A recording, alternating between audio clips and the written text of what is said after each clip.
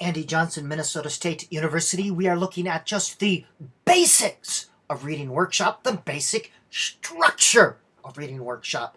And by the way, Reading Workshop is the best way to teach, in quotation marks, reading.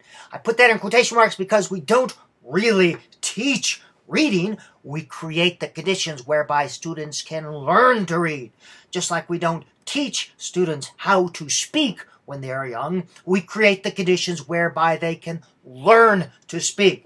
An important idea. Children learn to read and write the same way they learn to speak and listen by being immersed in authentic conditions, reading and writing conditions, and by getting authentic responses. The goals here of Reading Workshop is for students to practice reading just like you need to practice speaking, to learn the necessary skills. Yes, we do teach skills explicitly, but we do it in a research based way.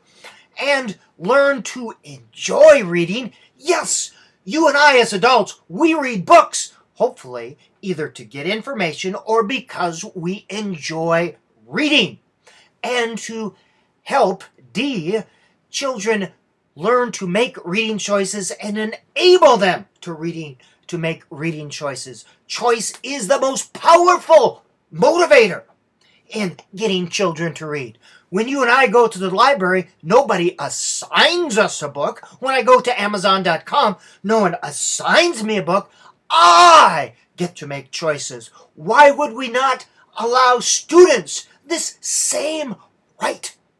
Like a carpenter's workshop, Reader's Workshop have projects going on at all different phases. It's not uniform, it's not standardized.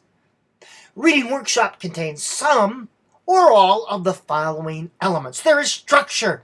Students know what they are supposed to do. There are specific routines, not control, not chaos, but structure. That is the ultimate in education, creating structure, not chaos or control. There are mini lessons. Yes, we teach skills explicitly, vowel sounds, letter sounds, word families, etc. But we realize, just as Nancie Atwell has and many others, that reading class should be 70 to 80% actually reading and enjoying, and only 20 to 30% skills instruction. Sadly, and I cry here, most traditional reading classes have that reversed.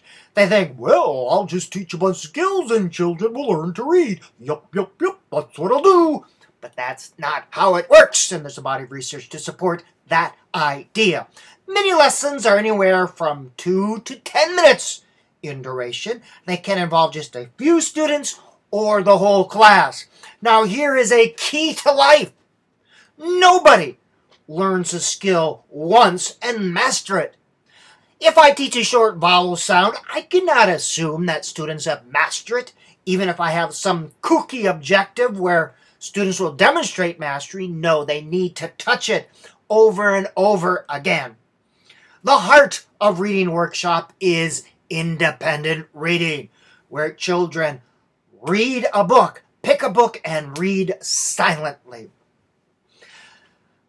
reading log, or journal. This is where children respond. And generally, the last five minutes of the day, the teacher might say, okay, get out your reading log and let's record or make a response. Now, this should be an aesthetic response, not story detail, describe what happened. It's as if you and I were having a conversation. How would you respond? I wouldn't ask you to respond uh, uh, to a detail. Here are some examples of aesthetic responses to a journal prompt. Of course, you can stop and read these, but the key is that you might want to put two or three of these prompts on the board before reading workshop starts and tell children to pick one that they would like to respond to. Eventually, students do not need prompts. They learn how to record and respond to interesting and important ideas.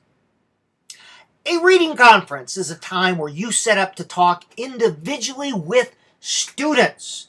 Students sign up on a calendar, or you may have uh, students assigned to a reading conference. Now, here's the thing if you have 25 students in a class and you do maybe three or four a day, every week and a half to two weeks, you will have a very meaningful interaction about students and where they're at. And you should do no more than three or four a day because they're kind of taxing, approximately five minutes in length. You'll have to teach students how to conference, what to say, and how to ask questions. And you even might want to have three or five questions that you're going to ask during the conference on a poster. Now, here are example of some pre-conference questions that you might post and the types of things that you ask. And by the way, you don't have to have read the book to have a good conference with students. You might say, oh, Pat, what are you reading? Hmm, interesting. Well, why did you pick this book? And as the student is talking with you, you're making anecdotal notes in your notebook. Simply a piece of paper. Take that piece of paper, put that in the student's uh, manila file folder. You're gathering some good, qualitative, authentic assessment. Hmm, can you describe an interesting character? Oh, interesting. What do you think will happen next? Hmm, why do you like this book? Hmm, what do you think you'll read next time? Interesting. Okay, that is a reading conference.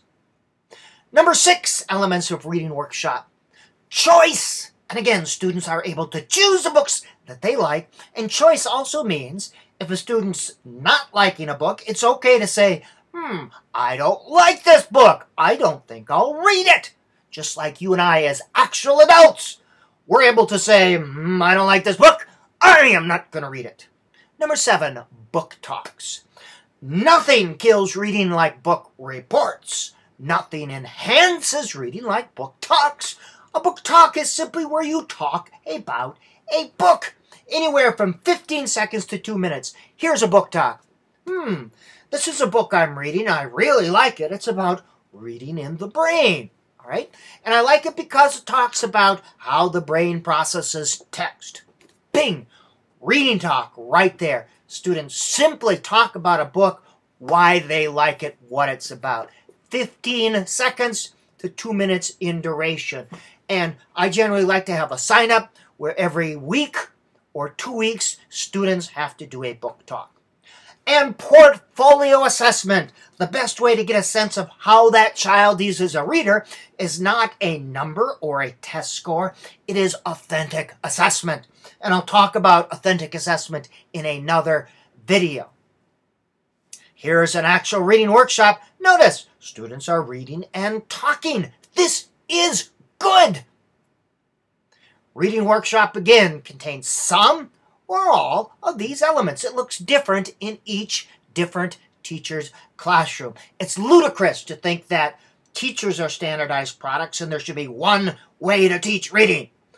Research after research says there is no magic method, one standardized approach that works for all students.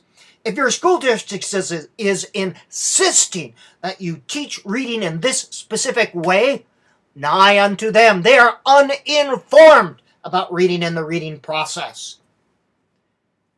Here's a teacher doing, uh, this is called language experience approach. This is where students dictate a sentence. This is good for emergent and beginning readers. And I have many activities and video lessons free of charge. The only obligation is that you use them to improve the lives of your students at that website. Reading workshop, a wonderful idea.